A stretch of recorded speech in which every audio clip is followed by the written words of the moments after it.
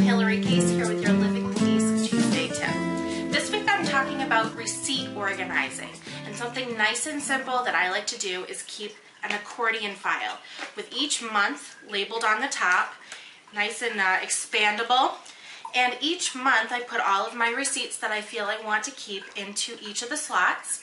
And at the end of the year, they all come out, go into a folder, and can be archived with that year's tax documents. Really simple, straightforward, and keeps them nicely contained. Hope you've learned a nice little trick. This has been Hillary Case with your Living.